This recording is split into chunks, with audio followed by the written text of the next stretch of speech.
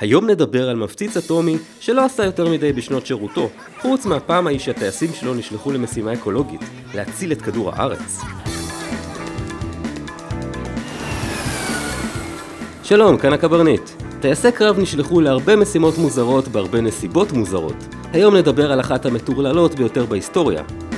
זה סיפור על שתי אוניות ומטוס, והוא מתחיל בשנות החמישים, כשקציני מודיעין במערב גילו שברית המועצות משיקה ספינת קרב מדגם חדש.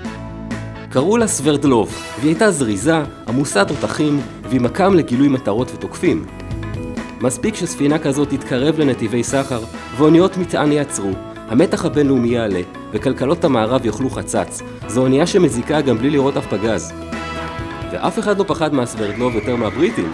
באותן השנים חלה התעוררות לאומית בקולוניות הבריטיות, שקלטו שוואלה, לא בא להן לממן את התה של המלכה. אם הכתר הבריטי לא יגן עליהן מהסובייטים, הדרך למרד תהיה קצרה מאוד. אז הצי הבריטי רצה סופר ספינה חדשה שתצוד סוורדלובות. הממשלה מצידה שאלה אם במקרה יער שרווד כבר התחיל להצמיח כסף. אז האדמירלים הלכו על משהו זול יותר, מפציץ קרב חדש. קראו לו בקניר, כלומר שודד ים, והשם מאוד התאים לו. הוא תוכנן להמריא מנוסות מטוסים ולטוס נמוך מאוד, מתחת למקם הסוורדלוב, כל כך נמוך שהוא יפחיד את הדגים. תא הטייס הוטה קדימה, כדי שיהיה נוח לכוון, והכנפיים היו רחבות דיין כדי להבטיח שליטה נוחה גם בגובה אפס. הבקניר היה מפציץ, אבל זריז כמטוס קרב, ונשא חלק מהפצצות שלו בתא פנימי מסתובב, וכמו כמעט כל מפציצי התקופה, הוא נשא גם פצצות אטום. כשנכנס לשירות ב-1962, נדלקו עליו טייסי חיל הים הבריטי, ואימונים שנערכו ביחד עם שאר ברית נאט"ו, הראו שצוותי הבקניר אלופים בלצוד ספינות, ושלסוורדלובות של הסובייטים אין סיכוי נגדם, לפחות תאורטית. הבריטים חיכו שנים, והאוניות הרוסיות פשוט לא באו. מי כן בא? ספינה אחרת לגמרי. בפברואר 1967 יצאה מכלית הענק טורי קניון מכווית אל האי הבריטי. ההפלגה הייתה כה מנומנמת שהצוות לא שם לב שהוא טועה בדרך. חבטה עצומה העירה את המלחים.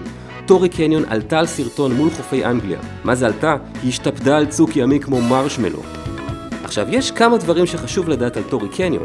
הייתה זו אונייה עצומה, ארוכה ב-30 מטר מהטיטניק וכבדה ממנה פי כמה. בנוסף, נשאה כמעט 120 אלף טון נפט גולמי, שהתחיל להישפך לים. ובנוסף בנוסף, זו הייתה הפעם הראשונה בהיסטוריה שזה קורה באמצע האוקיינוס ובכזה קנה מידה. העולם היה עמום, כתם נפט של 700 קילומטר רבוע התפשט לו והחל להציף חופים, מדענים לא ידעו מה יקרה, ופחדו שהכתם יגיע לזרם הגולף, ושדרכו יופץ בכל העולם, והספינה הייתה גדולה מכדי להיגרר או להשתחרר. ראש ממשלת בריטניה כינס צוות של גאונים שמצא פתרון, לשלוח את הבקנירים להטביע את טורי קניון המסכנה, כדי שכל הנפט שנשאר בה ינוח במצולות. ומה עם כתם הנפט הענקי? פשוט מאוד, המטוסים ידליקו אותו בפצצות ורקטות, שיזם את האטמוספירה ולא את החופים. המים והרוח בחוצפתם קצת יפריעו לו לבעור, ולכן הוחלט להתיז על הכתם חומרים דליקים במיוחד. מה דעתכם, זה עבד? ובכן, טורי חטפה המון פצצות אבל ספגה אותן בלי לטבוע, וכתם הנפט נדלק ובער בצורה מפחידה מאוד, ואחרי כמה דקות הים קיבע אותו כי פיזיקה. הבריטים המשיכו לנסות, הבקנירים הפציצו את הספינה יומיים ברציפות, ולמרבה הפדיחה החטיאו ברבע מהמקרים. אחרי 161 פצצות, התפרקה טורי והחליקה על מתחת לגלים. כתם הנפט גרם לאסון אקולוגי עצום באיי תעלת למאנש, אבל לא עלה על זרם ולא זיהם את כל הפלנטה. לא בזכות ההפצצה המוזרה ההיא, המדענים פשוט טעו, ולא היה סיכוי אמיתי שזה יקרה. מאז לא בוצעו עוד הפצצות אוויריות אקולוגיות. הבקנירים המשיכו לשרת עוד יותר מ-30 שנה אחר כך, וביצעו תקיפות גם במלחמת המפרץ, והפעם לא פספסו אף מטרה.